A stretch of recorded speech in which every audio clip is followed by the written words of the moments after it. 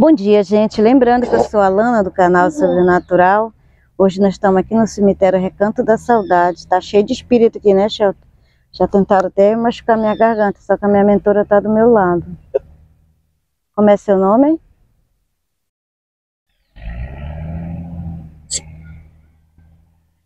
Aqui tem muito carapanã, né, Shelton?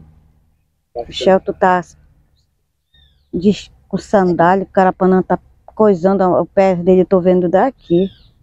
Oi, como é seu nome?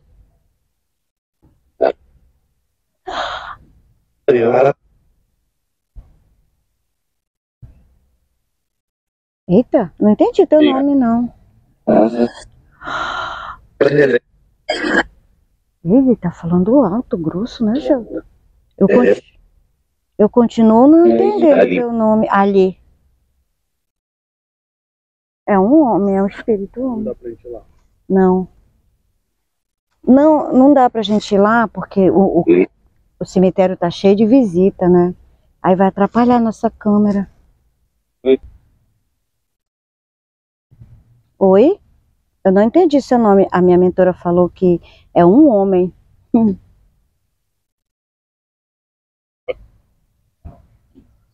Trazendo o espírito para mais perto. Um, dois, três. Três. Um, dois, três. Como é seu nome?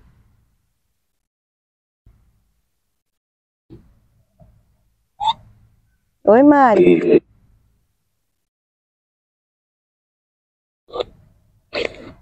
Algo afetou a garganta dele. Tá, a minha mentora e minha irmã tá aqui do meu lado. É, eu tô sentindo uma coisa muito, muito boa do meu lado. Esse espírito é um espírito bom, minha mentora? É, é. Como é teu nome? Ele o que, minha mentora?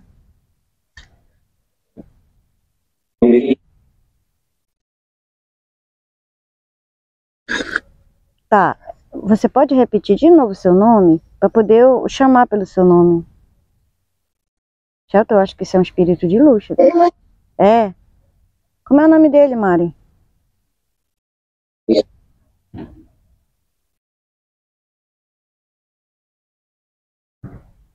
Não entendi ainda seu nome.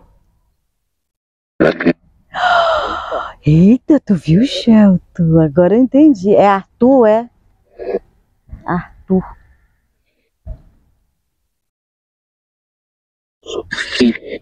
Sou. Anne? Anne? Sou eu? Meu Deus, ele me chamou de Anne. É. Só que me chamava de Anne Arthur. Gente, peraí, só que me chamava de Anne. Gente, porque lá na faculdade me chamavam do meu nome, aí eu me chamo de tanto nome, né? Minha família me chama de outro. Só que me chamava de Anne Arthur era um ex-namorado meu que eu tinha. Chato? Arthur? Lembra de alguém que faleceu? Lembro, eu tive um namorado que faleceu de acidente aqui na BR. É ele, minha mentora? É, é ele. Não acredito isso, gente. É que eu tava lá em, em casa outro dia lembrando dele. Arthur? Arthur? É, é ele, Mari? Mari?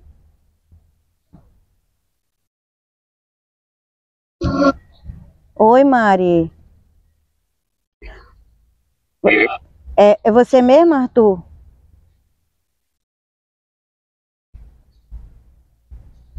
É, é ele. Gente, mas o Arthur, ele é. Arthur, você não foi enterrado aqui. É, eu. Arthur, você não foi enterrado aqui no Pará, né? Você era do Rio. Não foi. Foi, era do Rio. Seu corpo foi pra lá. Ô, minha mentora, ele veio de lá falar comigo. Ele morreu aqui na BR. Foi? Quer dizer? Gente do céu, Shelton, pelo amor de Deus, não vai dormir aí. Arthur, ele faleceu, gente, em mil, 2000, deixa eu ver se estou lembrado, 2011. Foi, né? 2011. E, sim, eu lembro. 2011. E a, ele era médico, ele veio para cá trabalhar. Só que a gente namorou o quê? Uns quatro meses só. E ele veio trabalhar para cá. E só que a família dele era do Rio.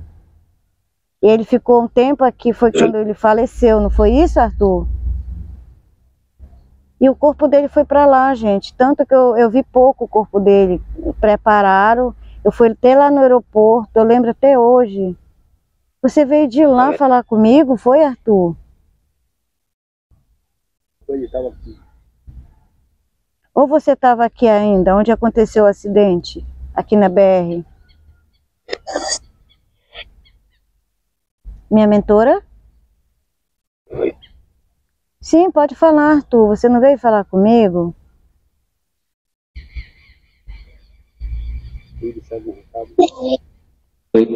Sim. Ah, então você já subiu. Ele subiu, Shelton. Ele era um homem bom, Shelton. Ele era ginecologista, gente. Ele era muito bom. Por isso que eu tô pensando, ele veio deixar alguém na casa. É. Gente, quando ele via, via as crianças na rua, ele parava o carro, ele dava dinheiro. Ai, meu Deus do céu. Arthur, você desceu para falar comigo, foi isso? E eu lembrava de você, como eu lembrava de você, uma vez eu até chamei esse espírito na minha mesa de oração, mas não desceu, gente, ele veio agora falar comigo. Foi 2011, tu confirma, Arthur, que aconteceu esse acidente contigo? 2011, eu estava saindo da minha faculdade. Claro? Sim, eu estava saindo da minha faculdade. Eu, eu, eu até lembro como eu, eu, eu te conheci, Arthur. Eu estava numa festa com as minhas amigas e ele estava do nosso lado. E aí ele sumiu. Aí eu, eu vi a carteira dele em cima da mesa e guardei a carteira dele, Shelton. Aí eu peguei, vi o número dele, liguei. Ele trabalhava lá no bairro Barreto. Ele veio trabalhar no hospital do governo para cá. E aí eu liguei para ele, ele disse que era para mim guardar a carteira dele. Ele foi na minha casa, pegou a carteira e conheceu a minha família. Isso, olha. Desde esse dia a gente ficou amigo e depois a gente começou a namorar. Ele era um homem muito legal. E, e, no dia que você, o seu carro capotou lá na BR, né, perto do entroncamento, mais ou menos aqui perto, né, Shelton? Estamos perto, né, Shelton? E a sua família levou o seu corpo para o Rio de Janeiro, veio e mandou buscar, né? Foi. Gente do céu, que maravilha. Salve, salve, Arthur. Você veio para deixar algum recado para mim? Agora bora ver, Shelton, o que, que ele quer. Foi, Mari? Foi, minha mentora? Hã?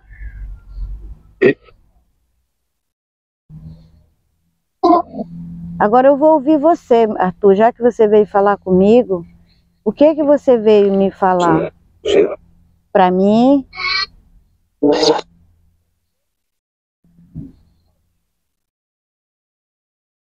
Pode falar, Arthur.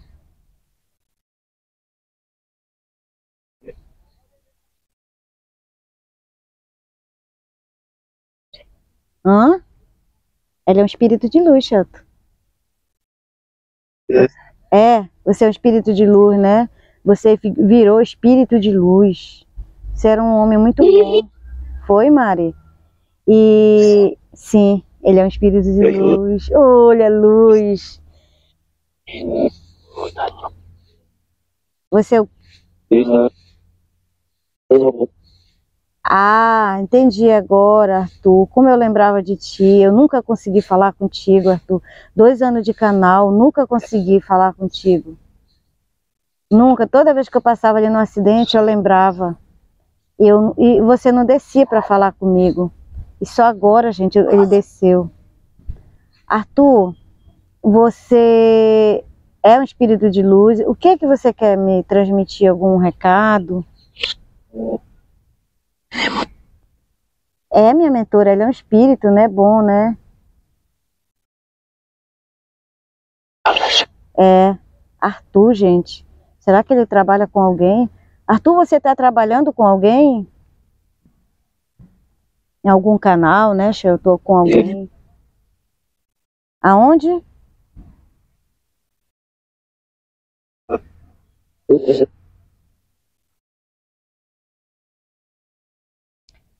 Um canal não, você não está trabalhando com ninguém do canal, mas você deve trabalhar em centro, né? Ajudando. É, lá no Rio.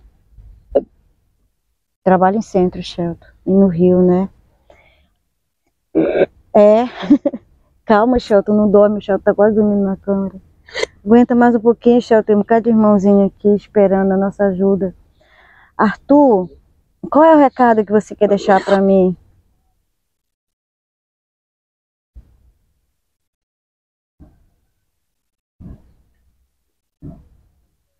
Você é mentora. É.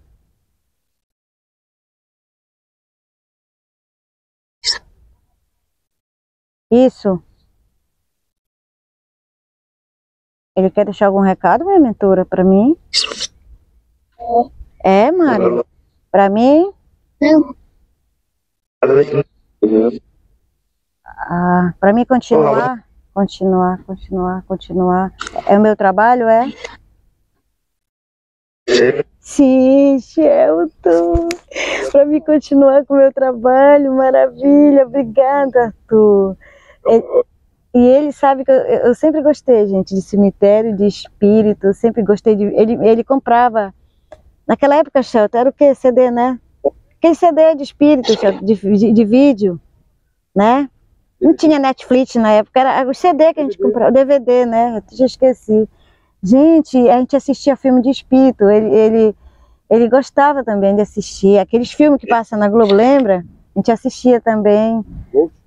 Era, lembra, lembra, Arthur, que você comprava aqueles, aqueles DVD. DVD, Shelton, me ajuda aí, eu até me perdi. CD, né? Que a gente botava no, naquele aparelho. É, DVD, que nem tem mais. E a gente assistia. Eu, eu era cheia, gente, de aqueles DVD, CD, né, de, de, de filme de, de espírito. Ai, gente, me ajuda, que eu até esqueci, faz tanto tempo. 2011, você faleceu. Eu, eu lembro que foi em março de 2011. Logo em seguida, foi. Eu fui-me embora de Belém, né? Eu passei dois anos fora de Belém. Foi. Passei dois anos fora, mas eu nunca esqueci a, naquele dia que me ligaram que teu carro tinha capotado. Ainda tem mais ainda. E nesse dia que o carro dele capotou, é, ele me convidou que ele ia lá na casa de um amigo dele. É isso, Arthur? Claro. E não sei o que foi que aconteceu comigo, que não deu para mim ir. Aí eu disse para ele assim, gente, olha só como é as coisas. Quando tu voltares, aí tu me pega em casa. É, ele queria me pegar na ida, Shelton. Olha aí para te ver. O carro dele capotou e ele não veio mais me pegar na volta. E se eu tivesse ido, eu tinha também, né? Não era meu dia, era teu dia só, não era? A tua missão acabou era ele tinha o que 46 anos? E eu era bem jovem ainda. Ele tinha o que 20 anos de médico era? Arthur não era era. 20 anos 21 anos. E sempre me falava que ele tinha eh, o tempo com 25 anos ele ia se aposentar. Era 46 ou 47 anos que ele tinha na época não estou bem lembrada. Arthur você é um espírito de luz é assim, gente, a gente pede para os espíritos virem trabalhar com a gente, mas tudo tem, é eles que escolhem, né, Shelton?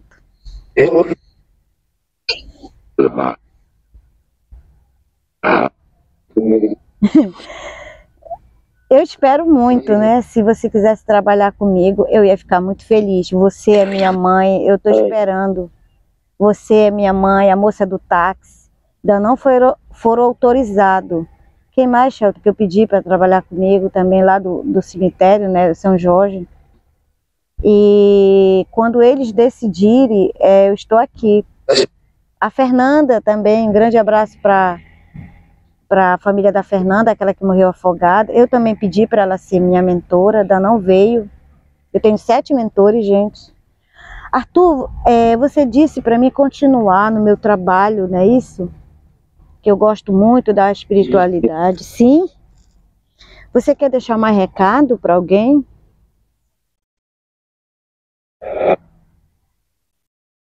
Para quem?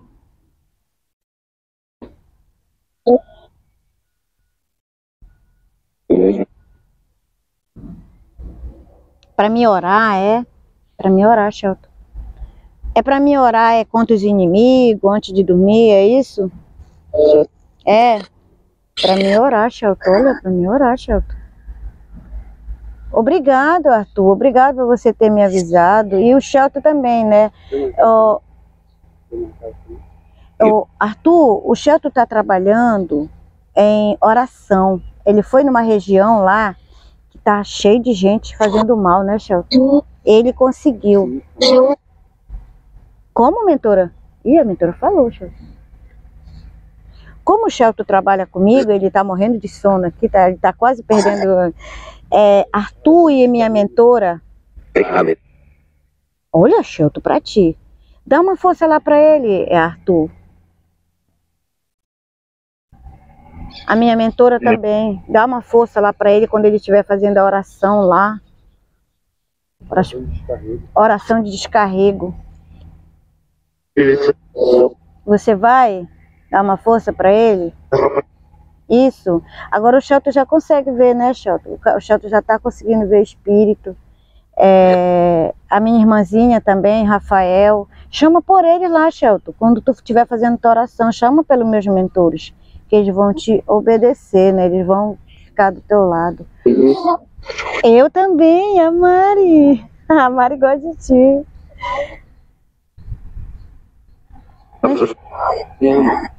Ah, agora, olha, Shelton, pronto, o Shelton tá com a equipe da, dos mentores da Lana. Todo mundo vai te ajudar. A Mari, a Severa, o Arthur. Até o Arthur, gente, disse que vai ajudar ele. É porque ele me ajuda, Arthur. Ele é um bom menino, é meu irmãozinho ele, né? Obrigado, obrigado. Ele é médico, gente. Ele era ginecologista. Ele cuidava dos das mulheres grávidas. Era um excelente médico. Ele operava rapidinho e sozinho. Ele fazia cada cirurgia, gente. Muito bom, o Arthur. Ele chegou a cuidar de mim, chegou a cuidar da minha filha mais velha também. Obrigado por você descer e, e, se comunicar comigo. Você não sabe quanto eu esperava essa comunicação. Eu esperava, esperava, até que fim você desceu veio falar comigo. Obrigada. E eu vou falar para o teu amigo também, que ele sempre tem contato comigo, que eu consegui falar contigo. O, o amigo dele também, gente. É médico.